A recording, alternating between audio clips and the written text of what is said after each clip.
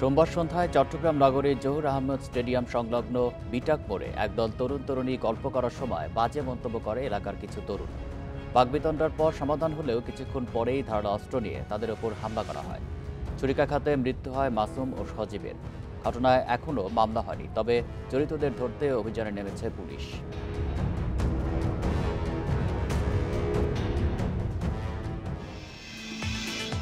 এ নিয়ে প্রতিবেদন থাকছে সংবাদে। স্বাগত সকাল নয়টার ইন্ডিপেন্ডেন্ট সংবাদে। আপনাদের সাথে আছি আমি আলী আশরাফ এবং আমি জান্নাতুল ফিরদৌস সুবা শুরুতে জানিয়ে দিব প্রধান শিরোনামগুলো। তিন দেশের সফর শেষে লন্ডন থেকে ঢাকার পথে প্রধানমন্ত্রী জাপানের সাথে অংশীদারিত্ব বিশ্ব ব্যাংকের ঋণ চুক্তি সহ নানা অর্জন।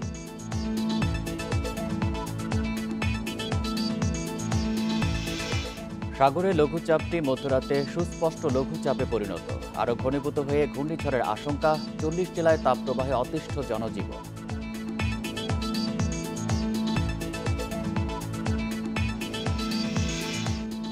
গাজীপুর সিটি নির্বাচনের প্রতীক বরাদ্দ আজ আজমত জায়দা সহ মেয়র পদে আট প্রতিদ্বন্দ্বী।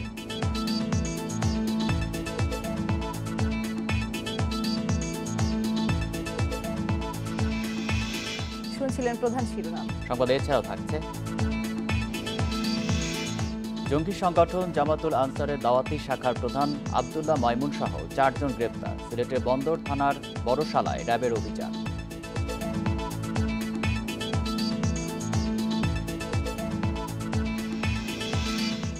নবম শ্রেণীতে নতুন শিক্ষাক্রম চালু আগামী বছর। এখনও শুরু হয়নি বই লেখা অগোছালো কাজে বাড়বে ভুলভ্রান্তি, বলছেন গবেষকেরা।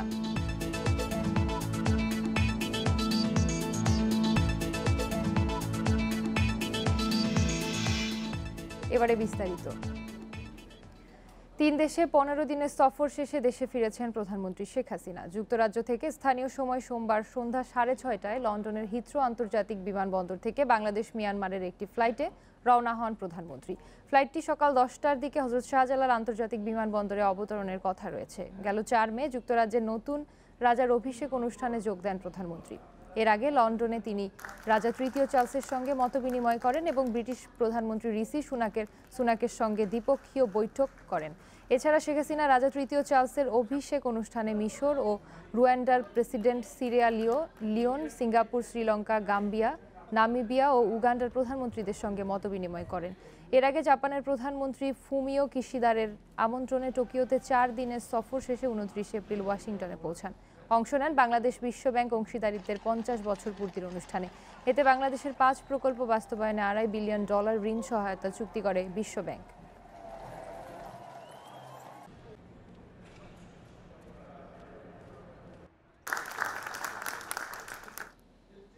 দক্ষিণ পূর্ব বঙ্গোপসাগরে সৃষ্ট লঘুচাপটি মধ্যরাতে আরও ঘনীভূত হয়ে সুস্পষ্ট লঘুচাপে পরিণত হয়েছে।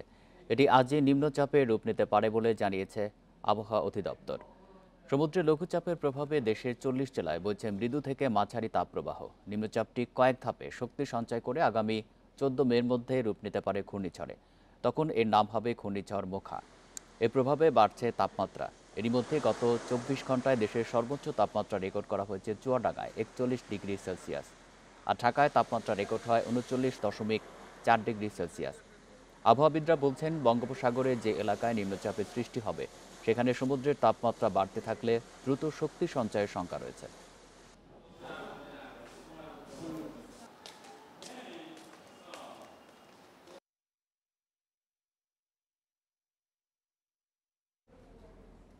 বর্ষার আগ মুহূর্তে বঙ্গোপসাগরে তাপমাত্রা চার থেকে ছয় ডিগ্রি বাড়ে। যে কারণে তৈরি হয় প্রচুর জলীয় বাষ্প। আবহাওয়াবিদরা বলছেন, এতে বঙ্গোপসাগরে সৃষ্টি হয় ভয়াবহ ঘূর্ণিঝড়।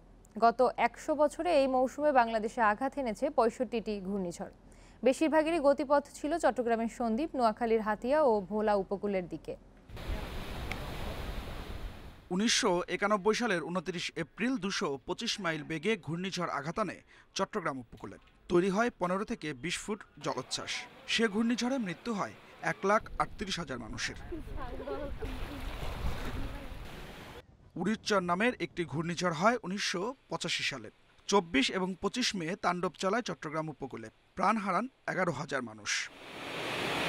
উনিশশো সাতানব্বই সালের মে মাসের আরেক প্রলয়ঙ্কারী ঘূর্ণিঝড়ে মৃত্যু হয় একশো ছাব্বিশ জনের। এ ঝড়টি আঘাত হানে চট্টগ্রাম, কক্সবাজার, নোয়াখালী এবং ভোলা উপকূলে।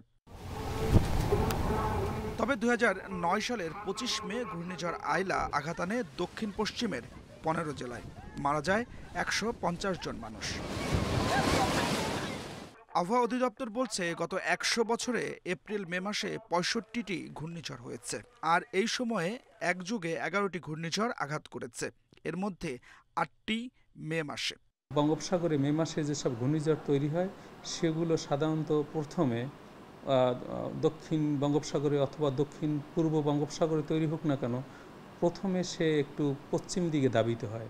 তারপর সে কিছুটা বেঁকে উত্তর পূর্ব দিকে দাবিত হয়ে মায়ানমার অথবা বাংলাদেশের কক্সবাজার হাতিয়া সন্দ্বীপ চট্টগ্রাম এই বরাবর ধাবিত হওয়ার আমাদের অতীতের রেকর্ড রয়েছে।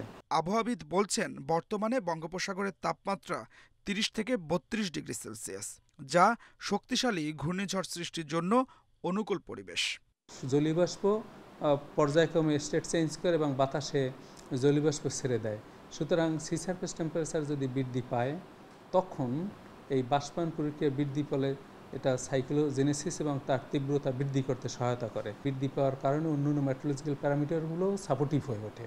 সেই কারণে মে মাসে যেসব ঘূর্ণিঝড় বে অফ বেঙ্গলে তৈরি হয়, অনেক ক্ষেত্রেই সেটা অতি তীব্র ঘূর্ণিঝড়ে রূপ নেওয়ার সম্ভাবনা থাকে। বঙ্গোপসাগরকে ঘিরে প্রায় পঞ্চাশ কোটি মানুষের বসবাস। বিশ্বের পঁয়ত্রিশটি ভয়ঙ্কর মৌসুমি ঘূর্ণিঝড়ের ছাব্বিশটি হয়েছে বঙ্গোপসাগরে। Adilur Rahman, Independent News, Dhaka. Chittagong নগরের পাহাড়তলী এলাকায় দুই দল তরুণের সংঘর্ষে দুইজন নিহত হয়েছে। সোমবার সন্ধ্যায় পাহাড়তলীতে আড্ডা দেওয়ার সময় এক মেয়ে বন্ধুকে নিয়ে বাজে মন্তব্য করার জেরে এই সংঘর্ষ হয়। এই ঘটনায় এখনও আটক হয়নি কেউ। তবে জড়িতদের ধরতে অভিযানে রয়েছে পুলিশ। সোমবার সন্ধ্যার পর নগরের পাহাড়তলী জহুর আহমদ স্টেডিয়াম সংলগ্ন বিটাক মোড়ে বসে আড্ডা দিচ্ছিল সজীব, মাসুম, রাফসান, শিহাব সহ কয়েকজন। সেখানে ছিল তাদের এক মেয়ে বন্ধুও। এ সময় তাকে নিয়ে বাজে মন্তব্য করে ওই এলাকার কিছু কিশোর তরুণ। শিহাব ও তার বন্ধুরা এর প্রতিবাদ জানালে উভয় পক্ষের মধ্যে হাতাহাতি শুরু হয়। এক পর্যায়ে তা মিটেও যায়। এর কিছুক্ষণ পর ধারালো অস্ত্র দিয়ে শিহাব ও তার বন্ধুদের উপর হামলা চালায় ওই কিশোররা। এলোপাতারি ছুরিকাঘাতে গুরুতর আহত হয় মাসুম আর সজীব। দ্রুত উদ্ধার করে চট্টগ্রাম মেডিকেল কলেজ হাসপাতালে নেওয়া হলে তাদের মৃত ঘোষণা করে চিকিৎসক। এর সঙ্গে জড়িতদের দৃষ্টান্তমূলক শাস্তি দাবি করেছেন নিহতের বন্ধু ও স্বজনরা। অস্ত্রপাতি ছিল আসি ধূপধাপ ধূপধাপ ছুরি ছুরি আমি অস্ত্র দিয়ে মারামারি মারামারা শুরু করছি। আমি বলছি ওকে দেন না ওকে দেন না দিতেছে না। তার আধা ঘণ্টা এক ঘণ্টা পরে বলতেছে কি আমরা সিডাং মেডিকেলে ভর্তি করছি আপনারা আসেন। নিশ্চয় বিচার হতে হবে। এই ধরনের কিশোর গ্যাংকের এগুলো বাংলাদেশ থেকে উচিত করে দিতে হবে। হামলাকারীদের ধরতে অভিযান চলছে বলে জানিয়েছে পুলিশ। তারা পূর্ব পরিচিত হয়তো প্রথমে কথা কাটাকাটি তারপর হয়তো সন্দেহ তারপরে তর্কাতর্কি তারপরে একটা ছুরিকাঘাত কারণে দুজনকে দ্রুত আহত হয় এবং হসপিটালে নিয়ে আসে। এখন পর্যন্ত কাউকে আটক করা হয় নাই আমরা চেষ্টা করতেছি। নিহত সজীব মাছ ব্যবসা ও মাসুম ব্যাটারি কারখানার শ্রমিক ছিল বলে জানা গেছে। Independent News. আরও জানাতে চট্টগ্রাম থেকে যুক্ত হচ্ছেন সহকর্মী অনুপম শীল। অনুপম ঘটনা সম্পর্কে বিস্তারিত জানাবেন আর এই ঘটনায় কোনো মামলা হয়েছে কিনা? পুলিশ কি বলছে এই বিষয়ে? কাউকে আটক করা কি সম্ভব হয়েছে? আমরা কিছুক্ষণ আগেই পাঁচতলী থানার যিনি ভারপ্রাপ্ত কর্মকর্তা মুস্তাফিজুর রহমান তার সাথে কথা বলেছিলাম। তিনি বল- আমাদেরকে জানিয়েছেন যে এখনও পর্যন্ত এই ঘটনায় কাউকে গ্রেফতার করা যায়নি। তবে তারা, তাদের যে অভিযান এই বিষয়ে সেটি চলছে। মূলত গতকালকে সন্ধ্যার দিকে এই একটি নারীকে কেন্দ্র করে ইফটিজিংকে কেন্দ্র করে মূলত এই দুই পক্ষের মধ্যে সংঘর্ষ বা সংঘাত শুরু হয়। এরপরে এই দুই পক্ষের নিয়ে আলোচনায়, অর্থাৎ বিষয়টিকে মীমাংসা করার জন্য একটি বৈঠক শুরু হয়েছিল। কিন্তু সেই বৈঠকেই যে সজীব এবং মাসুম এই দুজনকে ছুরিকাঘাত করা হয় বলে এখানে প্রত্যক্ষদর্শীরা বা যারা ছিলেন, তারা আমাদেরকে জানিয়েছেন এবং চিকিৎসকরা যেটি বলছেন যে তাদেরকে মূলত উরুতে এই ছুরিকাঘাতগুলো করা হয় এবং অতিরিক্ত রক্তক্ষরণের কারণে তাদের মৃত্যু হয়েছে এরকম একটি ধারণা চিকিৎসকরা আমাদেরকে জানিয়েছেন। আর পুলিশের পক্ষ থেকে আরও যেটি জানানো হয়েছে যে তারা মূলত হয়তো আজকে এই দুপুর নাগাদ নিহতদের পরিবারের পক্ষ থেকে যদি কোনো মামলা দায়ের করা হয় তারা সেটি নেবেন অথবা পুলিশই নিজেরা মামলা করতে পারেন যদি পরিবারের পক্ষ থেকে কেউ আগ্রহী না থাকে। তবে সাম্প্রতিক সময়ে আমরা যদি চট্টগ্রামে এই সমস্ত গ্যাং কালচার বা বিশেষ করে কিশোর গ্যাং কালচারগুলো নিয়ে একটু বলি যে বিভিন্ন জায়গায় নানা ধরনের অপরাধের সাথে এই সমস্ত গ্যাং কালচারের যারা যুক্ত, তারা অপরাধের সাথে যুক্ত হয়ে পড়েছেন বা অপরাধ সংগঠিত করছেন। এর মধ্যে বিভিন্ন জায়গায় আমরা দেখছি যে টিজিং নারীদেরকে হয়রানি, বিশেষ করে আরও বিভিন্ন জায়গা থেকে চাঁদা আদায় এই ধরনের কালচারে এই গ্যাংগুলো যুক্ত। আরেকটি বিষয় যে পুলিশ এবং যারা এই ধরনের অপরাধ বিশ্লেষণ করেন, তাদের মধ্যে থেকে যদি বলা হচ্ছে যে, এই সমস্ত গ্যাংয়ের পেছনে কেউ না কেউ কলকাঠি নাড়েন যারা বিভিন্নভাবে সামাজিকভাবে প্রভাবশালী, বিশেষ করে রাজনৈতিকভাবে প্রভাবশালী। তো অপরাধ বিশ্লেষকরা বলছেন যে, সেই বড় ভাই বা যারা গ্যাং কালচারের পেছন থেকে পৃষ্ঠপোষকতা করেন, তাদের বিরুদ্ধে যদি ব্যবস্থা নেওয়া না যায় তাহলে কিন্তু এই ধরনের পরিস্থিতি আরও ঘটতে থাকবে বা এই পরিস্থিতি থেকে বেরিয়ে আসা কঠিন হবে। তবে বাস্তবতা যেটি সেটি হচ্ছে আমরা ইতিমধ্যে দুইজন মানুষকে চট্টগ্রাম তাদের পরিবার হারালো এবং একেবারেই ঠুনকো কিছু ঘটনা নিয়ে বা ঠুনকো একটি ঘটনা নিয়ে এই ধরনের সংঘাত মারামারি এবং তারপরে আইন শৃঙ্খলা পরিস্থিতির এই ধরনের অবনতি আসলে আরেকটি বিষয় একটু জানাবেন চট্টগ্রামের কোন কোন এলাকায় এই গ্যাং কালচার বেশি আছে? সাম্প্রতিক সময়ে চট্টগ্রাম মেট্রোপলিটন পুলিশ এই বিষয়ে একটি তারা জরিপ করছেন, তারা একটি তালিকা করছেন, যদিও তালিকাটি এখনও পুরোপুরি শেষ হয়নি। তবে পুলিশের পক্ষ থেকে যেটি জানানো হয়েছে, বিশেষ করে শিক্ষা প্রতিষ্ঠানগুলো যেখানে বেশি আছে, অর্থাৎ নগরীর চকবাজার সেখানে অনেকগুলো শিক্ষা প্রতিষ্ঠান, বিশেষ চট্টগ্রাম কলেজ হাজী মোহাম্মদ মহসিন কলেজ এবং চট্টগ্রাম সরকারি উচ্চ বিদ্যালয়, হাজী মোহাম্মদ মহসিন উচ্চ বিদ্যালয় এর বাইরে আরও অনেকগুলো বিজ্ঞান কলেজ এই ধরনের চকবাজার এলাকা কেন্দ্রিক কিছু সবচেয়ে বেশি গ্যাং বা কিশোর গ্যাং রয়েছে। এছাড়াও আমরা মুরাদপুর এবং গতকালকে যেখানে ঘটনা ঘটলো পাহাড়তলি, জামাল খান, এই সমস্ত এলাকায় আমরা বিভিন্ন সময় দেখেছি এবং পুলিশের যে অনুসন্ধান, তাতেও দেখা যাচ্ছে যে এই এলাকাগুলোতে এই গ্যাং কালচার বা এই কিশোর গ্যাং যেগুলো, সেগুলো বেশি সক্রিয় রয়েছে। চট্টগ্রাম থেকে জানাচ্ছিলেন সহকর্মী অনুপম শীল। নতুন জঙ্গি সংগঠন জামাতুল আনসার ফিল হিন্দাল সার্কিয়ার দাওয়াতি শাখার প্রধান আবদুল্লাহ মাইমুন সহ চারজনকে গ্রেফতার করেছে র্যাব। মঙ্গলবার সিলেটের বন্দর থানার বড়শালা বাজার থেকে তাদের গ্রেফতার করা হয়। তারা সবাই পাহাড়ে প্রশিক্ষণপ্রাপ্ত। আবদুল্লাহ মাইমুন সিলেটের শায়েক বলেও জানিয়েছে র্যাব, এখন পর্যন্ত এই সংগঠনের সত্তর জনকে গ্রেফতার করেছে আইনশৃঙ্খলা বাহিনী। তবে সংগঠনটির প্রধান সমন্বয়ক শামী মাহফুজকে এখনও গ্রেফতার করতে পারেনি আইনশৃঙ্খলা বাহিনী।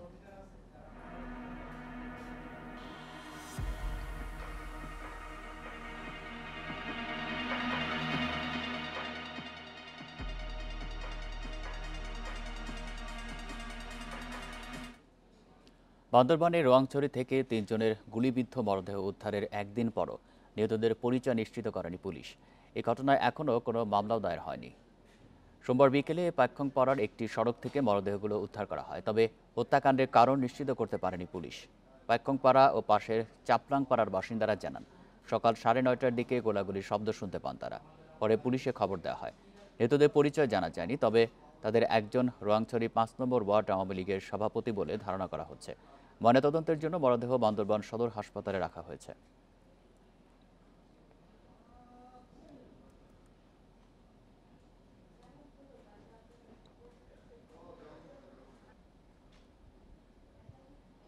আলোচনাতে বান্দরবান থেকে যুক্ত হচ্ছেন সহকর্মী মংকিং বার্মা। মংকিং নিহতদের পরিচয় শনাক্ত করা শেষ পর্যন্ত সম্ভব হয়েছে কিনা? আর কারা এই ঘটনা ঘটেছে, কি কারণে ঘটেছে তা সে বিষয়ে কিছু কি জানা গেছে? আসলে রংছড়িতে কয়েক মাস যাবৎ কেএনএফ এবং গণতান্ত্রিক ইউপিডিএফ এর মধ্যে ইউপিডিএফ সংস্কারের মধ্যে একটি তাদের আধিপত্যকে কেন্দ্র করে এখানে কিন্তু আসলে গোলাগুলি এবং অপহরণ খুন এই তো আহ, গত মাসেই সাত তারিখের পরে গতকালকে এক মাসের ব্যবধানেই গতকালকে আসলে খামতাং পাইংহং পাড়ার এলাকায় এই ঘটনাটি ঘটে বলে আমরা জানতে পেরেছি। তো মূলত যারা যাদেরকে আসলে হত্যা করা হয়েছে বা গুলি করে মারা হয়েছে, তাদের তিনজনের মধ্যে একজন পরিচয় জানতে পেরেছে বলে পাড়াবাসী নিশ্চিত করেছে এবং সেটি থানা থেকে নিশ্চিত করেছেন। সে রুনিন পাড়ার আহ, পাঁচ নং ওয়ার্ড আওয়ামী লীগের ন্যামথাং বম সে আওয়ামী লীগের সভাপতি বলে জানতে পেরেছে। আর বাকি দুজনের আহ, এখনও পরিচয় জানা যায়নি। তবে এই ঘটনা আসলে এলাকার মানুষ উদ্বিগ্ন এবং আরেকটি বিষয় জানিয়ে রাখতে চাই যে গত বাইশ তারিখ থেকে রোয়াংছড়িতে এই ঘটনাগুলো ঘটে যাচ্ছে এবং এরপরেই গত মাসের সাত তারিখে বড় একটি ঘটনা ঘটে। সেটি হলো সেটিও কিন্তু খামতাং পাড়া এলাকায়। এখানে কিন্তু আটজনকে গুলি করে মেরে ফেলা হয়েছে। তো এটি ঘটনার মূলত যে কেএনএফ এর সন্দেহে আসলে এখানে যে ইউপিডিএফ গণতান্ত্রিকের মধ্যে যে সংঘর্ষ, সেটি কিন্তু এখনও কিন্তু চলমান রয়েছে। আবার অন্যদিকে এখানে কেএনএফ এর সাথে এখানে যৌথ বাহিনী সাথে বিভিন্ন সময় রুমা এবং থানচির এলাকায় গোলাগুলির ঘটনাগুলো ঘটে থাকে। তো মূলত আসলে গতকালকে আহ, রুনিন পাড়ায় যে তিন আহ, রুনিন পাড়ায় যে যাদেরকে আসলে এখানে হত্যা করা হয়েছে তাদেরকে কোন উদ্দেশ্যে আসলে হত্যা করা হয়েছে সেটি কিন্তু পুলিশ এবং স্থানীয়রা কিন্তু এখনও পর্যন্ত নিশ্চিত জানতে পারেনি। তবে এলাকাবাসী বলছেন যে এই ঘটনাগুলোর কারণে কিন্তু তারা আসলে আতঙ্কে রয়েছে এবং যে আহ, পাইংখং রুইন খামতাং এবং কিয়াপলাং আশেপাশে যে সকল বম সম্প্রদায়ের পাড়া রয়েছে। সেখানে কিন্তু আসলে সবাই আতঙ্কে রয়েছে। তো মূলত এখনও পর্যন্ত যে দুজনের পরিচয় পাওয়া যায়নি যে একজনকে তার পরিচয় নিশ্চিত করেছে গত অল্প কিছুক্ষণের মধ্যেই আত্মীয় স্বজনের কাছে লাশগুলো হস্তান্তর করা হবে বলে আমরা জানতে পেরেছি। তবে এলাকাগুলো এখনও থমথম পরিবেশে আছে। এই হচ্ছে আমার কাছে সর্বশেষ তথ্য। বান্দরবান থেকে জানাচ্ছেন সহকর্মী মঙ্কিং বার্মা। গাজীপুর সিটি কর্পোরেশন নির্বাচনে প্রার্থীদের প্রতীক বরাদ্দ দেওয়া হবে আজ। এরপরই শুরু হবে আনুষ্ঠানিক প্রচারণা। এদিকে গতকাল মনোনয়ন প্রত্যাহারের শেষ দিনে একজন প্রার্থিতা প্রত্যাহার করে নেয়ার চূড়ান্তভাবে মেয়র প্রার্থী আটজন। মঙ্গলবার প্রার্থিতা প্রত্যাহারের শেষ দিনে আওয়ামী লীগের বিদ্রোহী আবদুল্লাহ আল মামুন মণ্ডল সরে সরে যান প্রতিদ্বন্দ্বিতা থেকে। অন্যদিকে প্রার্থিতা ফিরে পাওয়ার দাবিতে সাবেক মেয়র জাহাঙ্গীর আলমের রিট খারিজ করে দিয়েছে হাইকোর্ট। এছাড়া কাউন্সিলর প্রার্থী হিসেবে ছত্রিশ জন সরে যাওয়ায় প্রতিদ্বন্দ্বিতায় রইলেন দুশো উনচল্লিশ জন। আর সাতাত্তর জন লড়বেন সংরক্ষিত কাউন্সিলর পদে। দেশের সবচেয়ে বড় সিটি কর্পোরেশন গাজীপুরে ভোট হবে আগামী পঁচিশ মে। এবার গাজীপুর সিটিতে ভোটার সংখ্যা প্রায় বারো লাখ।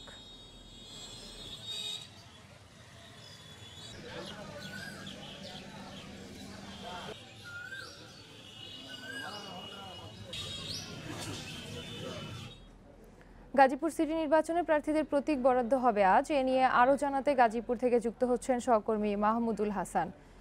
মাহমুদুল প্রতীক বরাদ্দের সর্বশেষ বিস্তারিত কি আছে আপনার কাছে আর কখন নাগাদ প্রতীক বরাদ্দ দেয়া হবে?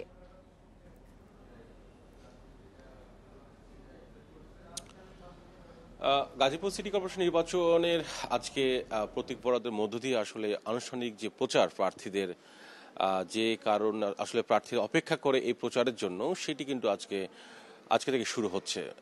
প্রচারের যে জন্য যে ধরনের প্রস্তুতি প্রার্থীরাও কিন্তু মুখিয়ে আছেন বলা যেতে পারে। আজকে যে প্রতীক বরাদ্দ হবে, সেই প্রতীক বর- বরাদ্দটি ঠিক দশটার সময় শুরু হবে বলে রিটার্নিং কর্মকর্তা জানিয়েছেন এবং বিকেল পর্যন্ত এই প্রতীক বরাদ্দ চলবে। প্রতীক বরাদ্দের শুরুতে যে আটজন মেয়র প্রার্থী আছেন, তাদের প্রতীক বরাদ্দ করা হবে। এরপরেই কাউন্সিলর যারা প্রার্থী আছেন, নিশ্চয় আমি জানেন যে দুশো উনচল্লিশ জন কাউন্সিলর এবং সাতাত্তর জন সংরক্ষিত কাউন্সিলর পদে এবারে গাজীপুর সিটি কর্পোরেশনে প্রতিদ্বন্দ্বিতা করছেন। এরপরে কাউন্সিলরদের প্রতীক বরাদ্দ করা হবে। যারা প্রার্থী হয়েছেন বা প্রার্থী যারা চূড়ান্তভাবে হয়েছেন, তারা এইখানে এসে, অর্থাৎ রিটার্নিং কর্মকর্তার কার্যালয়ে এসে তারা তাদের যে প্রতীক আছে, তারা বুঝে নেবে। অর্থাৎ অনেকেই আছে যে এক প্রতীক দুইজন চায় বা তিনজন চাই কোনো কোনো কোনো প্রার্থী, সেক্ষেত্রে যদি একাধিক প্রার্থী একই প্রতীক চাই সেক্ষেত্রে তাদেরকে লটারির মাধ্যমে নির্ধারিত হবে প্রতীক বর- বরাদ্দটি। এবং একই সঙ্গে আরেকটি বিষয় সেটি হচ্ছে যে গাজীপুরে কিন্তু আপনি নিশ্চয় জানেন যে যখন থেকে এই তফসিলটি ঘোষণা করা হয় তারপর থেকে কিন্তু আলোচনায় যে ছিল যে সাবেক মেয়র জাহাঙ্গীর আলম তিনি মনোনয়ন পাচ্ছেন কি না বা মনোনয়নপত্র জমা দেওয়ার পর তার সেটি বাতিল হয়ে যায়। আবার গতকালকেও হাইকোর্ট থেকে সে তার যে রিট করেছিলেন সেটিও খারিজ করে দিয়েছেন। তবে সব মিলিয়ে যে আলোচনায় জাহাঙ্গীর আলম ছিলেন, সেই আলোচনাটি এখন অন্যদিকে মোড় নিয়ে সেখানে এখন আপনি নিশ্চয় জানেন যে নৌকার যিনি প্রার্থী আছেন আজমতুল্লাহ খান এবং আরও যে এর বাইরেও সাতজন প্রার্থী আছেন, তবে এখানকার যারা ভোটার আছেন, তারা গতকালকে এবং আজকে অনেক ভোটারের সঙ্গে কথা বলার সুযোগ হয়েছে। তারা যেটি বলছেন যে মূলত নৌকার প্রার্থী আজমতুল্লাহ খান এবং জাহাঙ্গীরের মা যিনি স্বতন্ত্র প্রার্থী হয়ে প্রতিদ্বন্দ্বিতা করছেন, এই দুজনের মধ্যেই মূলত মূলত প্রতিদ্বন্দ্বিতা হবে। এর বাইরেও জাতীয় পার্টির একজন প্রার্থী আছেন, ইসলামী আন্দোলন বাংলাদেশের প্রার্থী আছেন আরেকজন বিএনপি, যদিও এই স্থানীয় সরকার নির্বাচনে নির্বাচন করছেন না, তারপরেও বিএনপির ঘরনার একজন প্রার্থী আছেন। সব মিলে যদি বলা যেতে পারে যে আজকে প্রতীক বরাদ্দের পরেই কিন্তু আনুষ্ঠানিক প্রচারের নামের প্রার্থীরা এবং তখনই কিন্তু আসলে প্রচারে কারা কারা এগিয়ে থাকছেন কারা কারা পিছিয়ে যাচ্ছেন তখনই আসলে হিসেব নিকেশগুলো হিসেবেই কিন্তু ভোটাররা করবে একই সঙ্গে সেই হিসেবেই ভোট দিবেন। গাজীপুর সিটি নির্বাচনের খবর জানাচ্ছিলেন সহকর্মী মাহমুদুল হাসান। বিএনপি দলীয়ভাবে সিটি নির্বাচনে অংশ না নেওয়ার ঘোষণা দিলেও রাজশাহীতে মেয়র পদে প্রার্থী হওয়ার ঘোষণা দিয়েছেন মহানগর বিএনপির সাবেক নেতা সাইদ হাসান। এদিকে আওয়ামী লীগের পাশাপাশি দলীয় প্রার্থী চূড়ান্ত করেছে জাতীয় পার্টি ও ইসলামী আন্দোলন। রাজশাহী সিটি নির্বাচনে এবারও আওয়ামী লীগের মেয়র প্রার্থী হিসেবে মনোনয়ন পেয়েছেন A H M Khairuzzaman Liton. রোববার তার পক্ষে মনোনয়নপত্র সংগ্রহ করেন মহানগর আওয়ামী লীগের ভারপ্রাপ্ত সভাপতি মোহাম্মদ আলী কামাল। একুশ মে মনোনয়নপত্র জমা দেওয়ার কথা জানিয়েছেন A H M Khairuzzaman Liton. নির্বাচনের যে দলীয়- যে সিদ্ধান্ত, মাননীয় প্রধানমন্ত্রী, আওয়ামী লীগ সভানেত্রী আমাকে মনোনয়ন করার মাধ্যমে দিয়েছেন, সেটিকে এখন আমি কার্যকরী করবার জন্য আনুষ্ঠানিকতা যেটি বাকি ছিল সেটি শুরু করলাম। এদিকে বিএনপি সিটি নির্বাচনে অংশ না নেওয়ার বিষয়টি দলীয় ফোরামে জোরেশোরে বলে এলেও প্রতিদ্বন্দ্বিতায় আগ্রহ প্রকাশ করেছেন মহানগর বিএনপির সাবেক যুগ্ম সাধারণ সম্পাদক সাইদ হাসান। এর আগেও জাতীয় নির্বাচনে বিএনপি থেকে রাজশাহী সদর আসনের মনোনয়ন চেয়েছিলেন তিনি।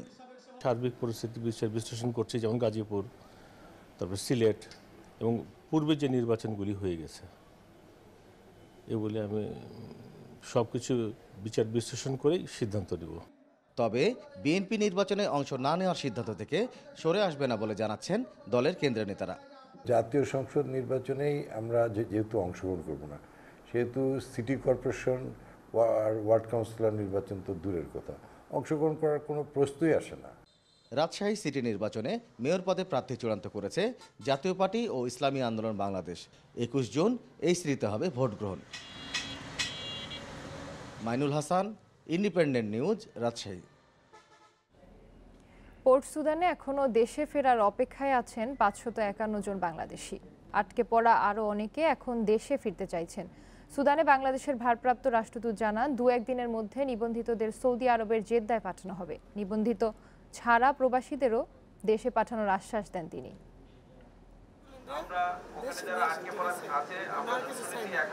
দেশে ফিরেছে সুদানে আটকে পড়া বাংলাদেশি। যারা পোর্ট সুদানে অপেক্ষা করছেন এখন তারাও আশার আলো দেখছেন। আমাদের সহকারে যারা বাইরে আটকে গেছে তাদের আমার মতো আমাদের মতো তাদেরকে নিয়ে আসার জন্য মাননীয় প্রধানমন্ত্রীর কাছে আমি এটাই আবেদন আমাদের। আমরা একটাই অনুরোধ যে যত বা- বিপদে পড়ে আসছে আমাদের ভাইয়েরা যাতে তাড়াতাড়ি আসতে পারে বাংলাদেশ। ছদিন ধরে পোর্ট সুদানে আছেন প্রায় ছশো বাংলাদেশি। আগে যারা ফিরতে চাননি যুদ্ধ বাড়তে থাকায় সেই বাংলাদেশিরাও ভিড় করছেন ক্যাম্পে। বাংলাদেশ সরকারের কাছে বিনত অনুরোধ করি আমরা যত দেশি ভাই এখানে আটকে পড়ে আছি আমাদেরকে সবার যত তাড়াতাড়ি সম্ভব নিয়ে যাওয়ার ব্যবস্থা করুক এই প্রত্যাবর্তনের সাথে সংশ্লিষ্ট সকলের প্রতি আকুল আবেদন। আমাদের দ্রুততার সাথে এখান থেকে যেন আমরা আমার পরিবারের কাছে আমরা যেন ফিরে যেতে পারি।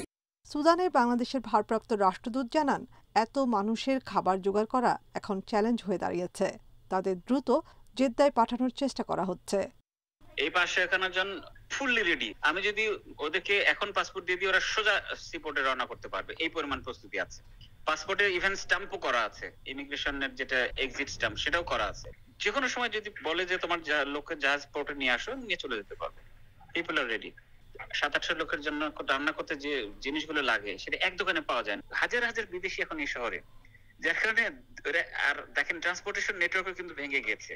এই কারণে খাবার সাপ্লাইটাও আর কতদিন এই শহরে খাবার আমরা কিনতে পারব সেই গ্যারান্টিটাও নেই। এদিকে প্রবাসী কল্যাণ মন্ত্রণালয় জানায় বিমানের ফ্লাইট প্রস্তুত রয়েছে। পরবর্তী দল জেদ্দায় পৌঁছলেই দেশে আনা হবে। Nafizuddoula Independent News Dhaka. যুদ্ধবিরতি উপেক্ষা করেই সুদানের সেনাবাহিনী ও আধা সামরিক বাহিনী আরএসএফের মধ্যকার রক্তক্ষয়ী সংঘর্ষ অব্যাহত রয়েছে। রাজধানী খার্তুমে এই পর্যন্ত নিহতের সংখ্যা বেড়ে দাঁড়িয়েছে পাঁচশো পঞ্চাশ জনে। আহতের সংখ্যা প্রায় পাঁচ হাজার ছাড়িয়েছে। প্রাণ বাঁচাতে সুদান ছেড়ে প্রতিবেশী দেশে আশ্রয় নিয়েছে এক লাখ তেইশ হাজারের বেশি মানুষ। সোমবারও খার্তুমের বিভিন্ন স্থানে গোলাগুলি ও বিমান হামলা হয়েছে। দারফুরে দুই বাহিনীর মধ্যকার সংঘর্ষে অন্তত একশো জন নিহত হয়েছে।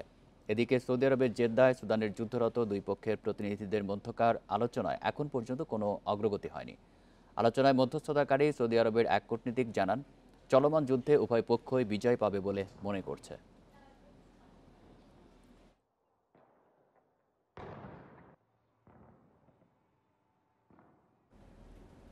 পাবনার ভাঙ্গুরায় এগারো ইউপি সদস্যকে হত্যার হুমকি দেওয়ার অভিযোগ উঠেছে ইউপি চেয়ারম্যানের বিরুদ্ধে। এ ঘটনায় আতঙ্কিত হয়ে থানায় লিখিত অভিযোগ দিয়েছেন ভুক্তভোগীরা। যদিও নিজের বিরুদ্ধে আনা সব অভিযোগ অস্বীকার করেছেন অভিযুক্ত চেয়ারম্যান। পাবনার ভাঙ্গুড়ার তিলপাশা ইউনিয়নের চেয়ারম্যান আব্দুল হান্নানের বিরুদ্ধে সরকারি প্রকল্পের অর্থ আত্মসাতের অভিযোগ তুলেছেন ইউপি সদস্যরা। এ বিষয়ে জেলা প্রশাসকের কাছে লিখিত অভিযোগ দিয়েছেন এগারো সদস্য। বিষয়টি মীমাংসার জন্য স্থানীয় আওয়ামী লীগ নেতাদের সাহায্য চান চেয়ারম্যান হান্নান। পরে সবাইকে নিয়ে সভায় বসলে সেখানে ক্ষিপ্ত হয়ে অভিযোগকারীদের হত্যার হুমকি দেন তিনি। যখন তার বিরুদ্ধে অভিযোগ করি, তখন সে আমাদের মানে মারার একটা হুমকি দেয় যে বলে আমার বাপ দাদা কোনো এক সময় মার্ডার করছে প্রয়োজনে আমিও দুই সাইডে মার্ডার করে এলাকায় শান্তি ফিরাবো। উনি বলে যে আমারই সব ক্ষমতা মেম্বার করে কোনো ক্ষমতা নাই। ঘটনার পর থেকে আতঙ্কে ইউনিয়ন পরিষদে যাওয়া বন্ধ করে দিয়েছেন তারা। ওনার হুমকিতে আমরা খুবই ভয়ভীত এবং আমরা মানে জীবননাশক এরপর চলাফেরা করে ঝুঁকিতে আছি যে কখন কি ঘটা ফেলা দেয় সব অভিযোগ অস্বীকার করে এই ঘটনাকে রাজনৈতিক প্রতিহিংসা বলে দাবি করেছেন অভিযুক্ত চেয়ারম্যান। দরখাস্ত যেগুলো আমার বিরুদ্ধে লিখছে সেই অভিযোগগুলোর মধ্যে কোনো সত্যতা নাই। এটা একটা ষড়যন্ত্রমূলক আমাকে একটা হয়রানি করার জন্য তারা হয়তো চিন্তা ভাবনা করছে। এই ঘটনায় লিখিত অভিযোগ পাওয়ার পর বিষয়টি তদন্ত করে ব্যবস্থা নেওয়ার কথা জানিয়েছে পুলিশ। এটা আমরা কমপ্লেন করেছে মেম্বার সাহেবরা চেয়ারম্যানের বিরুদ্ধে। তদন্ত চলবে। আর আমাদের কাছে যেটা করেছে সেটা আমরা আমাদের দিক থেকে তদন্ত করতে তদন্ত করে অভিযুক্ত চেয়ারম্যানের পদত্যাগ ও সুষ্ঠু বিচার চেয়েছেন ভুক্তভোগীরা।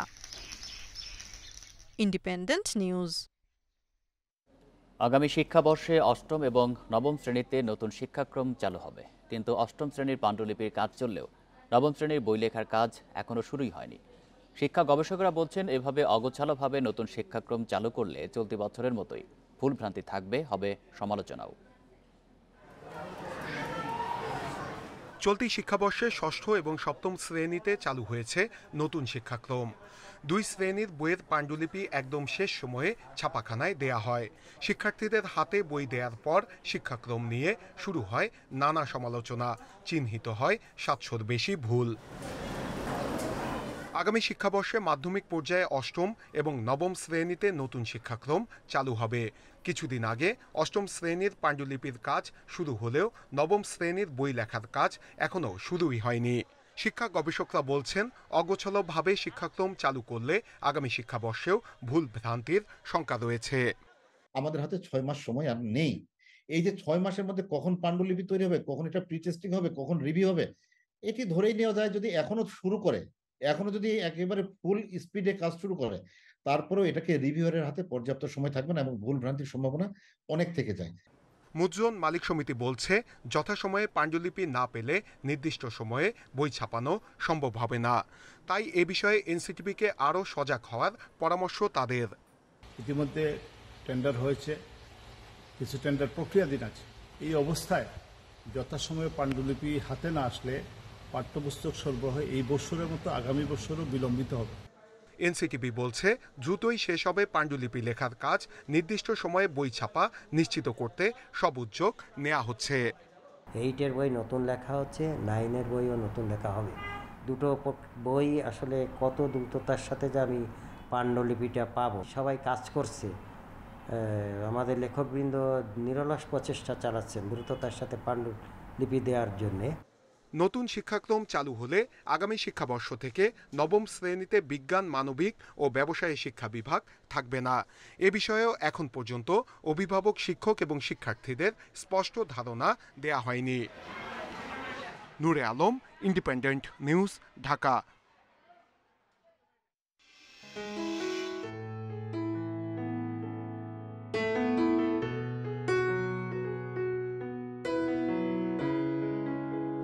Mobile ফোনের যুগেও দেশে অ্যামেচার বা হ্যাম রেডিওর প্রতি আগ্রহ বাড়ছে তরুণদের। প্রাকৃতিক দুর্যোগ সহ বিভিন্ন আপৎকালীন সময়ে বিশ্বজুড়ে যোগাযোগের নির্ভরযোগ্য মাধ্যম অ্যামেচার রেডিও মোবাইল ফোন যখন আর কাজ করে না, তখন দুর্যোগ প্রস্তুতি, উদ্ধার ও জরুরি সেবার তথ্য পৌঁছে দেন হ্যাম অপারেটররা বর্তমানে দেশে লাইসেন্সপ্রাপ্ত হ্যাম অপারেটর ছয়শো পঞ্চাশ জন।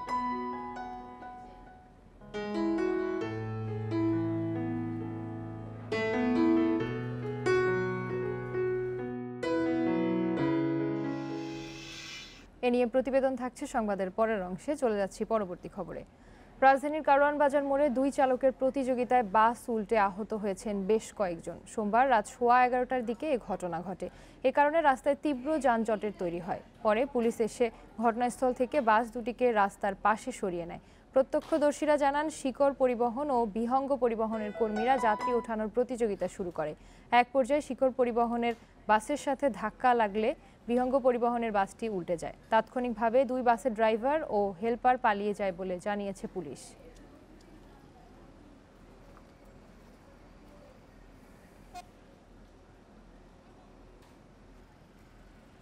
একে অপরকে মানে ওভারটেক করার জন্য আর কি। পাল্লাপাল্লি যেটা বলে আর কি। পাল্লাপাল্লি করতে গেছে একটা আরেকটার সাথে হয়তো লাগাই দিছে। বিহঙ্গ বাসটা উল্টে গেছে। সরকারি যে মেট্রো রেল লাইনেও রেলিংটাও নষ্ট হয়ে গেছে। দেশের সত্তর শতাংশ রেল লাইনের আয়ু শেষ, তাই গরমে বেঁকে যাচ্ছে সব লাইন ট্রেন চলাচল সচল রাখতে বেঁকে যাওয়া লাইন সংস্কার না করে ডিভাইস বসানোর চিন্তা করছে রেলওয়ে তবে যোগাযোগ বিশেষজ্ঞরা বলছেন, দ্রুত রক্ষণাবেক্ষণ ও সংস্কার না করলে জলবায়ু পরিবর্তনের কারণে ভবিষ্যতে এই সংকট আরও বাড়বে। এপ্রিলের মাঝামাঝি সারা দেশে বয়ে যায় তীব্র তাপপ্রবাহ। এর মধ্যে সতেরো এপ্রিল ঈশ্বরদীতে তাপমাত্রা পৌঁছায় রেকর্ড তেতাল্লিশ ডিগ্রি সেলসিয়াসে। গ্রীষ্মের শুরুতে তীব্র দাবাদাহ প্রভাব ফেলে রেল যোগাযোগে। এপ্রিলের শেষ সপ্তাহে ব্রাহ্মণবাড়িয়া একই জায়গায় পরপর দুদিন রেল লাইন বেঁকে যাওয়ার ঘটনা ঘটে। এর জন্য মূলত অতিরিক্ত তাপমাত্রাকেই দায়ী করেছেন রেল কর্মকর্তারা? ক্লিপ দিয়ে এবং স্লিপার দিয়ে রেলটাকে ধরে রাখার মতো ক্যাপাসিটি মূলত ছিল না। কারণ এটা ধরেন হাফ কিলোমিটার একটা প্যানেল সেটা যদি দুই ইঞ্চিও বেড়ে যায়, সেটা এরকম সাপের মতো বাঁকা হয়ে যায়। বাঁকা যাতে না হতে পারে, যে ধরনের ইকুইপমেন্ট বা স্লিপার দরকার, সেখানে হয়তো দুর্বলতা ছিল। যোগাযোগ বিশেষজ্ঞরা বলছেন, সত্তর ভাগ রেল লাইনেরই মেয়াদ নেই, তাই গরমে বেঁকে যাচ্ছে লাইন। রেল লাইন ঠিক করতে সাধারণ করার পরামর্শ তাদের। পাশাপাশি লাইনের ফিস প্লেট ও নাটবল্টু নিয়মিত পরীক্ষা নিরীক্ষার পরামর্শ দিয়েছেন তারা। যখন এই যে আয়ুষ্কাল শেষ হয়ে যাওয়ার যে সমস্যা, পাশাপাশি জলবায়ুর যে পরিবর্তন, তাপমাত্রা বাড়ছে।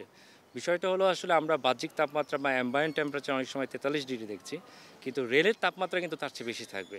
যেহেতু রেল হিটটা অ্যাবজর্ব করে, সাধারণত দশ থেকে পনেরো ডিগ্রি রেলের টেম্পারেচার কিন্তু বেশি হয়ে যায়। এই কারণে আসলে আমাদের প্রিকশন নিতে হয়। তবে সাধারণ নয় তীব্র গরমে রেল লাইন ঠিক রাখতে বিশেষ ডিভাইস বসানো হবে বলে জানিয়েছে রেল কর্তৃপক্ষ। যেসব জায়গাতে এই ধরনের টেন্ডেন্সি আছে বা হতে পারে সে সমস্ত জায়গাতে আমরা এই ধরনের ডিভাইস বসাই দেব যাতে এই ইলঙ্গেশনটা যাতে মিনিমাইজ হয়ে যায় ওইখানে বাকলিং ছাড়া। এই আমাদের প্ল্যান বিশেষজ্ঞরা বলছেন সারা দেশের রেলপথের অর্ধেকের বেশি চরম ঝুঁকিপূর্ণ। বেশিরভাগ রেল সেতুর অবস্থাও শোচনীয়। এই অবস্থায় আধুনিক প্রযুক্তি ব্যবহার করে রেললাইন মেরামত ও সংস্কারের তাগিদ তাদের। Al Amin Hossain, Independent News, Dhaka.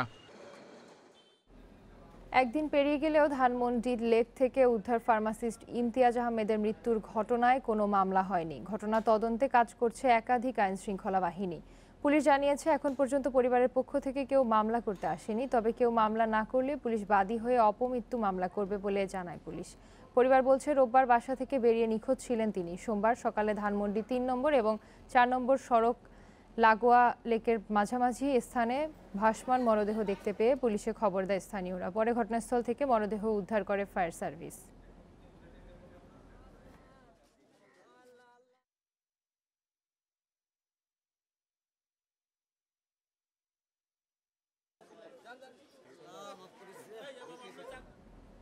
এ নিয়ে আরও জানাতে রাজধানী ধানমন্ডি থেকে যোগ দিচ্ছেন সহকর্মী আদিলুর রহমান।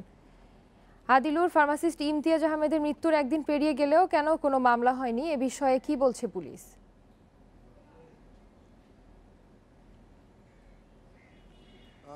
দেখুন মামলা হয়নি, তার কারণ হচ্ছে গতকাল কিন্তু আসলে পরিবারের সদস্য যারা আছেন তারা কিন্তু আসলে ব্যস্ত ছিলেন যে ময়নাতদন্তের পরে ইমতিয়াজ আহমেদ তার দাফন কোথায় হবে সেই বিষয়গুলো নিয়ে কিন্তু আসলে পরিবারের যারা সদস্যরা ছিলেন, তারা আসলে ব্যস্ত ছিলেন। আপনাকে এখানে একটু বলে রাখি যে আমরা আসলে একটি তথ্য পেয়েছি সেই তথ্যটি আসলে খতিয়ে দেখছে এই আইন শৃঙ্খলা বাহিনীর সদস্যরা। সেটি হচ্ছে যে ইমতিয়াজ আহমেদ, তিনি তিন নম্বর রোড সড়কের যে এগারো নম্বর যে বাসাটিতে আসলে থাকতেন, সেখানে তিনি তার প্রথম স্ত্রী এবং সন্তানকে নিয়ে থাকতেন। তার দ্বিতীয় আরেকটি পরিবার রয়েছে। এটি আসলে পুলিশ সেই খবরটি আসলে পেয়েছে এবং সেটিও আসলে খতিয়ে দেখছে। এই অনেকগুলো কারণকে সামনে রেখেই কিন্তু আসলে গতকালকের যে মামলা, সেই মামলাটি এখন পর্যন্ত হয়নি। তবে পুলিশ আশা করছে যে আজকে হয়তোবা পরিবারের পক্ষ থেকে কেউ মামলা করবে। যদি পরিবারের পক্ষ থেকে কেউ না, মামলা না করে, তাহলে পুলিশ তো আসলে বাদী হয়ে একটি অপমৃত্যুর যে মামলা, সেই মামলাটি করবে। এবং আমরা আজকে সকালে পুলিশের কাছ থেকে জানতে চেয়েছিলাম যে গতকাল মরদেহ উদ্ধারের পর তো আসলে অনেকটা সময় কেটে গেল এবং শুধু তাই নয়, গতকাল রোববার ভোরে তিনি যখন নিখোঁজ হয়েছেন পরিবারের দাবি তার পরপরই আসলে তারা জিডি করেছেন এবং সেই জিডি করার পরে এই ইমতিয়াজ আহমেদের নিখোঁজ নিয়েও কিন্তু ধানমন্ডি থানা পুলিশ তারা কাজ করছিল। অর্থাৎ রোববার ভোট থেকেই কিন্তু আসলে বা রোববার দুপুর থেকেই এই বিষয়টি নিয়ে আসলে কাজ করা হচ্ছিল। তো এতক্ষণেও কেন এর রহস্য উদ্ঘাটন হয়নি? এই বিষয়টি নিয়েও আমরা পুলিশের কাছে জানতে চেয়েছিলাম। পুলিশ বলছে যে অনেকগুলো বিষয় সামনে রেখে যে এটি আসলে আহ, পারিবারিক কোনো দ্বন্দ্ব কিনা বা এটি কোনো আত্মহত্যা বিষয় যে এটি কি হত্যাকাণ্ড নাকি দুর্ঘটনাজনিত? এ বিষয়ে পুলিশ কি বলেছে? দেখুন, পুলিশ কিন্তু আসলে এক- এখনও বা পুরোপুরি আসলে নিশ্চিত হতে পারেনি। যে বিষয়টি আসলে আমি বলছিলাম যে এটি আসলে পরকীয়া কিনা, বা এটি পারিবারিক দণ্ড কিনা, বা এটি কোনো শত্রুতা কিনা, দেনা পাওনা সম্পর্ক আছে কিনা, এই অনেকগুলো বিষয় কিন্তু আসলে সামনে রেখে পুলিশ তার যে তদন্ত, সেই তদন্ত করে যাচ্ছে। তবে একটি বিষয় কিন্তু আসলে সামনে উঠে এসেছে, সেটি হচ্ছে যে ধানমন্ডি লেকের যে নিরাপত্তা তার কারণ হচ্ছে আপনাকে একটু বলে রাখি যে দু হাজার বাইশ সালের অক্টোবরে এই ধানমন্ডির লেকে কিন্তু আসলে একজন প্রকৌশলীর মরদেহ এখান থেকে উদ্ধার করা হয়েছিল। তিনিও কিন্তু জখম অবস্থায় উদ্ধার হয়েছিলেন। ইমতিয়াজ আহমেদের শরীরেও জখমের আর চিহ্ন পাওয়া গেছে। তো এত বড় একটি লেক এবং সেই লেকের নিরাপত্তা ব্যবস্থা নিয়ে কিন্তু আসলে এখন প্রশ্ন উঠেছে যে এইখানে যে প্রবেশ পথগুলো রয়েছে এবং ওয়াকওয়েগুলো রয়েছে, সেখানে আসলে ন্যূনতম কোনো নিরাপত্তা ব্যবস্থা নেই। কারণ প্রত্যেক দিন সকাল থেকে একদম মধ্যরাত পর্যন্ত অনেক মানুষ এখানে কিন্তু আসলে চলাচল করে, হাঁটা চলা করে। তবে পুলিশের পক্ষ থেকে বলা হয়েছে যে, ধানমন্ডি লেকে যে নিরাপত্তা ব্যবস্থা নিরাপত্তা ব্যবস্থা আরও জোরদার করার জন্য তারা এরই মধ্যে কাজ শুরু করেছেন এবং এই নিরাপত্তা ব্যবস্থাটা দেখে ধানমন্ডি সোসাইটি তাদের সাথেও তারা কাজ শুরু করেছেন। তো আমার কাছে এটি ছিল এখনকার সবশেষ খবর। ধানমন্ডি থেকে জানাচ্ছিলেন সহকর্মী আদিলুর রহমান। কিশোরগঞ্জের পাগলা মসজিদের দানবাক্সে গত পাঁচ বছরে স্বর্ণালঙ্কার, নানা ধরনের পশু আর বিদেশি মুদ্রাসহ নগদ টাকা জমা পড়েছে প্রায় শত কোটি টাকা। অথচ মসজিদ পরিচালনা কমিটির কাছে এখন আছে মোটে চল্লিশ কোটি টাকা। বাকি ষাট কোটি টাকা খরচে অস্বচ্ছতার অভিযোগ উঠেছে। তবে অডিট করে সব হিসাব প্রকাশ করা হবে বলে জানিয়েছেন জেলা প্রশাসক। মসজিদের দান বাক্স যেন টাকার খনি প্রতি তিন মাস পর পর কিশোরগঞ্জের পাগলা মসজিদে দেখা মিলে এমন দৃশ্যের। গত সাত মাসে দুইবার দান বাক্স খুলে পাওয়া গেছে নগদ দশ কোটি টাকা সহ প্রচুর স্বর্ণরূপার অলংকার ও বৈদেশিক মুদ্রা। এছাড়াও মনের আশা পূরণের আশায় প্রতিদিন হাঁস, মুরগি, গরু ছাগল সহ বিভিন্ন প্রাণী এই মসজিদে দান করেন অনেকে। মসজিদ পরিচালনা কমিটির হিসাব মতে, গত তিন বছর ধরে বাক্সে দানের পরিমাণ দ্রুত বাড়ছে। আগের প্রতি তিন মাসে বাক্স খুলে এক দেড় কোটি টাকা পাওয়া গেলেও এখন মিলছে সাড়ে পাঁচ কোটি টাকার বেশি নকদ টাকা। আর স্বর্ণালঙ্কার, পশু বিক্রি ও বিদেশি মুদ্রা ভাঙিয়ে পাওয়া যায় আরও দেড় দুই কোটি টাকা। সে হিসেবে গত পাঁচ বছরে আয়ের পরিমাণ দাঁড়ায় একশো কোটি টাকা। দানের টাকা নানা মসজিদ মাদ্রাসা ও গরিব রোগীদের চিকিৎসা সাহায্য হিসেবে দেওয়ার কথা বলছেন কমিটির কর্মকর্তারা। কিন্তু কোন প্রক্রিয়ায় এই টাকা কাদের দেয়া হয়েছে সেটি নিয়েও আছে অস্পষ্টতা। বার্ষিক একটা আয় ব্যয়ের খতিয়ান প্রতিবেদন প্রকাশ করেন তাহলে আয়- এটা আরও স্বচ্ছ হবে। এই টাকার হিসাব আয় বা ব্যয়টা যদি আমাদের সামনে ধরা যেত তাহলে আমরা এখানে স্বচ্ছ থাকতাম এবং আমাদের আমরা এখানে দান করতে আরও উৎসাহিত হইতাম। এ নিয়ে অন্ধকারে খোদ কমিটির সদস্যরাও। তারা বলছেন কমিটির সভাপতি এবং সাধারণ সম্পাদক সব টাকা খরচ করছেন নিজেদের ইচ্ছায়। কমিটির অনুমোদন নেওয়া হয় না। স্বচ্ছতার জায়গায় যদি বলেন একটি খাত নিয়ে আহ, এখনও আমরা অনেকটা অন্ধকারে কিছুটা থাকি মানুষের অনুদানের প্রতিটি টাকা স্বচ্ছতার সাথে যেন ব্যয় হয় জনগণের কাছে আপনাদের সামনে তুলে ধরা হয় আমরা পরবর্তী মিটিংয়ে এটা উপস্থাপন করব। মানুষের দানের লক্ষ লক্ষ টাকা অপচয়ের সুযোগ নেই বলে দাবি করছেন স্থানীয় জেলা প্রশাসক, যিনি পদাধিকারে কমিটির সভাপতিও। লক্ষ লক্ষ টাকা এখান থেকে অপচয় হওয়ার কোনো সুযোগ নেই।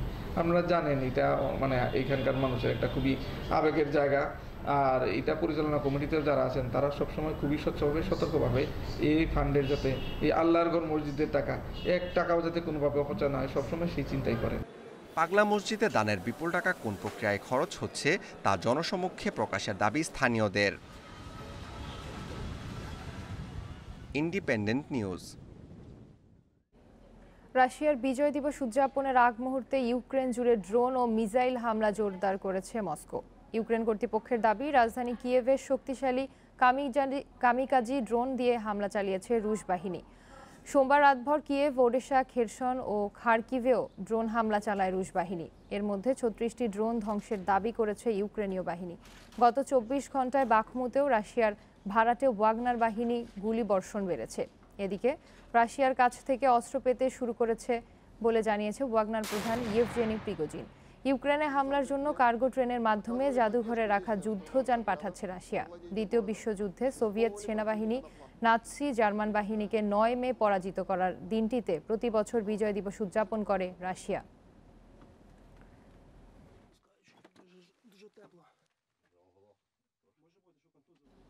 প্রথমবারের মতো মহাকাশে যাচ্ছেন সৌদি আরবের নারী নভোচারী রায়ানা বার্নাউই বিষয়টি নিশ্চিত করেছে মার্কিন মহাকাশ সংস্থা, নাসা।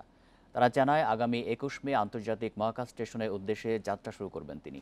এ সময় তার সফরসঙ্গী হবেন সৌদি আরবের আরেক নভোচারী আলী আল কার্নি তাদের বহনকারী রকেটটি যুক্তরাষ্ট্রের কেনেডি মহাকাশ কেন্দ্র থেকে উৎক্ষেপণ করা হবে। দশ দিনে সফরের নাম দেওয়া হয়েছে Axiom Space two mission ISS মিশনে মহাকাশে অবস্থানরত আমিরাতি নভোচারী সুলতান আল নেয়াদির সঙ্গে যুক্ত হবেন তারা।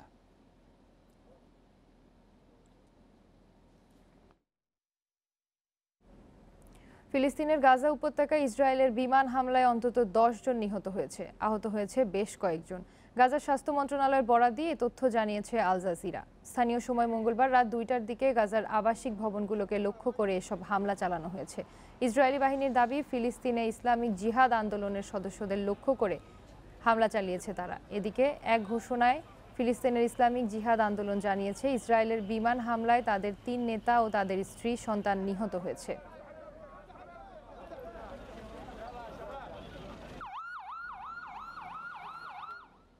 জেমসফোর্ডে আয়ারল্যান্ড বাংলাদেশ সিরিজের প্রথম ওয়ানডে আজ। ঘরের মাঠে আইরিশদের সহজেই হারানো গেছে, তবে ইংলিশ কন্ডিশনে সিরিজ হবে চ্যালেঞ্জিং। অপরিচিত ভেন্যুতে দ্রুত মানিয়ে পারফর্ম করতে মুখিয়ে টাইগাররা। ম্যাচ শুরু বাংলাদেশ সময় বেলা পৌনে চারটায়। দেশের কোনো চ্যানেল সম্প্রচার করবে না এই সিরিজ। বিনামূল্যে খেলা দেখা যাবে আইসিসি অনলাইন টিভিতে। ইংল্যান্ডে বৃষ্টি বাধায় প্রস্তুতি হয়নি ঠিকমতো। ম্যাচ ভেন্যু চেমসফোর্ড কাউন্টি গ্রাউন্ডে প্রথমবার বাংলাদেশ দল উইকেট নিয়ে আগ্রহই বেশি। নিরানব্বই বিশ্বকাপে প্রথম ম্যাচ চেমসফোর্ডে খেলেছিল বাংলাদেশ। দুই যুগ পর এই ভেনুতে আন্তর্জাতিক ম্যাচ আয়ারল্যান্ডের বিপক্ষে নামবে তামিম সাকিবরা। সম্প্রতি ঘরের মাঠে আয়ারল্যান্ডকে উড়িয়ে সিরিজ জিতেছে বাংলাদেশ। অ্যাওয়ে লড়াই মোটেও সহজ নয়, কারণ ইংলিশ কন্ডিশন বরাবরই চ্যালেঞ্জিং। ভেজা উইকেট আর ঠান্ডা বাতাস ভোগাতে পারে টাইগারদের। Looked like the wicket is very good. এখানকার উইকেট বেশ ভালো কিছুটা সবুজ ঘাস আছে। গেল দুদিন বৃষ্টির কারণে কাভারে ঢাকা ছিল। ঘাসের নিচে শক্ত থাকবে আশা করি কঠিন হবে না। Till yesterday, so they would have covered. বিশ্বকাপের আগে ব্যাটিং অর্ডার কম্বিনেশন নিয়ে ভাবতে হচ্ছে। অ্যাওয়ে সিরিজ থেকে ধারণা পরিষ্কার হতে পারে হাতুরু সিংহের। কন্ডিশন বুঝে ঠিক হবে একাদশ। জেনুইন অলরাউন্ডার থাকা সৌভাগ্যের। কম্বিনেশন সাজাতে সুবিধা হয়। ম্যাচের আগে একাদশ ঠিক করা হবে। নতুনদের জন্য ভালো সুযোগ এখানে খেলা। আমরা সামর্থ্য ও দক্ষতার অনুযায়ী খেলব। এখানেও আমরা একই ব্র্যান্ড অফ ক্রিকেট খেলতে চাই. আইসিসি সুপার লিগের অংশ এই সিরিজ। বাংলাদেশকে হোয়াইট ওয়াশ করতে পারলে সরাসরি বিশ্বকাপে খেলবে আয়ারল্যান্ড। সেই মিশনে ভালো শুরুর লক্ষ্য আইরিশদের স্টার্লিং টাকার জশ লিটল কিংবা ক্যাম্পারের মতো ক্রিকেটার আশা দেখাচ্ছে। পূর্বাভাসে বৃষ্টির সংখ্যা কম, কিন্তু ইংল্যান্ডের আবহাওয়া রহস্যময়। চিন্তাটা সেখানেই। Saeed Sadi, Independent News. ক্যারিয়ারে দ্বিতীয়বারের মতো লরিয়াস ওয়ার্ল্ড স্পোর্টস অ্যাওয়ার্ড জিতলেন আর্জেন্টাইন কিংবদন্তি লিওনেল মেসি। ফ্রান্সের প্যারিসে সোমবার পুরস্কার বিতরণী অনুষ্ঠানের ঘোষণা করা হয় বিজয়ীদের নাম। সেখানে দ্বিতীয়বারের মতো পুরস্কারটি নিজের করে নেন মেসি। এর আগে দুই হাজার বিশ সালে প্রথমবার জিতেছিলেন এই অ্যাওয়ার্ড। ফুটবলারদের মধ্যে একমাত্র তিনিই পেয়েছেন এই পুরস্কার, তবে এবার জিতে আরেকটি অনন্য অর্জন ধরা দিল আর্জেন্টাইন মহাতারকার হাতে। বর্ষসেরা দলের পুরস্কারীয় পুরস্কারটিও জিতেছে আর্জেন্টিনা। চ্যাম্পিয়ন্স লিগে আজ জমজমাট লড়াই। সেমিফাইনালে প্রথম লেগে মুখোমুখি দুই জায়ান্ট রিয়াল মাদ্রিদ আর ম্যানচেস্টার সিটি। সান্তিয়াগো বর্ণাবুতে খেলা শুরু বাংলাদেশ সময় রাত একটায়। চ্যাম্পিয়ন্স লিগ মানেই রিয়ালের দাপট। তাছাড়া সবশেষ ম্যাচে ওসাসুনাকে দুই এক গোলে হারিয়ে কোপা দেল্লের শিরোপা পুনরুদ্ধার করেছে স্প্যানিশ জায়ান্টরা। তবে প্রতিপক্ষ ম্যানচেস্টার সিটি হওয়ায় ম্যাচটি বেশ কঠিন হতে যাচ্ছে ডিফেন্ডিং চ্যাম্পিয়নদের জন্য। এদিকে দারুণ ছন্দে আছে ইংলিশ চ্যাম্পিয়নরা। সব প্রতিযোগিতা মিলিয়ে সবশেষ বিশ ম্যাচের কোনোটি হারেনি দলটি। আর হেড টু হেডেও রিয়ালের থেকে অনেক এগিয়ে গার্দিওলার দল। প্রাকৃতিক দুর্যোগে বিশ্বজুড়ে জনপ্রিয় যোগাযোগ মাধ্যম হ্যাম রেডিওর প্রতি দেশে আগ্রহ বাড়ছে। তবে এটি আরও জনপ্রিয় হওয়ার সুযোগ আছে বলে মনে করে amateur radio society of Bangladesh নিয়ন্ত্রক সংস্থা বিটিআরসি লাইসেন্স দেওয়ার পরীক্ষা নিয়মিত করলে হ্যামে গতি আসবে বলে মনে করেন। সেই সাথে বাড়বে গবেষণাও। বর্তমানে দেশে হ্যাম অপারেটরের সংখ্যা ছয়শো পঞ্চাশ। দুর্যোগকালীন যোগাযোগের অন্যতম মাধ্যম হ্যাম বা অ্যামেচার রেডিও। এর পরিচালকদের বলা হয় হ্যাম। বড়দের পাশাপাশি হ্যাম রেডিও ব্যবহার করছেন অল্প বয়সীরাও।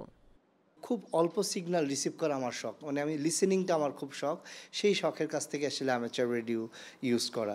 এই পরীক্ষায় আগ্রহী হওয়ার মূল কারণ হচ্ছে দেশের দুর্যোগে বিপদে আপদে দেশের পাশে থাকা। হ্যাম রেডিও ব্যবহারকারী নিজেই একটি পূর্ণাঙ্গ বেতার গ্রাহক ও প্রেরক যন্ত্রের অধিকারী। একটি নির্দিষ্ট বেতার তরঙ্গ ব্যবহার করে নিজ এলাকা, পৃথিবীর যে কোনো প্রান্ত, এমনকি নভোচারীর সঙ্গেও যোগাযোগ করা যায়। এর জন্য কোনো অর্থ খরচ করতে হয় না। Amateur radio society of Bangladesh জানায়, দুই হাজার তেরো সালে হ্যাম রেডিও লাইসেন্স পেয়েছেন একশো সাতচল্লিশ জন। দু হাজার সতেরো সালে একশো সাতাত্তর জন এবং সবশেষ দুই সালে লাইসেন্স পেয়েছেন একশো আটানব্বই জন। নিয়মিত পরীক্ষার মাধ্যমে লাইসেন্স দেয়ায় গতি আনলে ব্যবহারকারী আরও বাড়বে। যদি কখনো এমন হয় দুর্যোগে যে, আমাদের দেশের যে আবহাওয়া বিভাগ আছে, অকার্যকর হয়ে গেল বা অচল হয়ে পড়ল, তখন কিন্তু আমরা অ্যামেচার রেডিওর মাধ্যমে ভায়া স্যাটেলাইট থেকে আমরা সরাসরি ডাটা নামাতে পারব। পাশাপাশি এটা নিয়ে পর্যটন শিল্পেও কিন্তু অনেক উন্নতি হয়। সরকারের উচিত নিয়মিত পরীক্ষা হওয়াটা। তবে করোনার কারণে চার বছর বন্ধ থাকলেও চলতি মাসে আবারও পরীক্ষা নেওয়া হবে বলে জানিয়েছে নিয়ন্ত্রক সংস্থা বিটিআরসি। আমরা যখন পরীক্ষা একটা কন্ডাক্ট করতে চাই আমরা মনে করি যে না এখানে পরীক্ষার্থীর সংখ্যা বেশি হলেই আমাদের জন্য ভালো। এটা আমাদের প্রধান কাজ নয়। তার মানে এই কাজের ভিতরে আমাদেরকে সময়টাকেও আমাকে ওইভাবেই চিন্তা করেই দিতে হবে যাতে আমরা একবারে এটা থেকে আউটপুটটা আমরা বেশি পেতে পারি। হ্যাম রেডিও লাইসেন্স দেওয়ার পাশাপাশি এর ডিভাইস আমদানি সহজ করার ওপরও জোর দিয়েছেন ব্যবহারকারীরা। Irin Khatun Independent News Dhaka. এই ছিল এখনকার সংবাদ। ইন্ডিপেন্ডেন্ট টেলিভিশনের সব খবরের আরও বিস্তারিত জানতে চোখ রাখুন ফেসবুক ইউটিউব এবং টুইটারে ধন্যবাদ সবাইকে।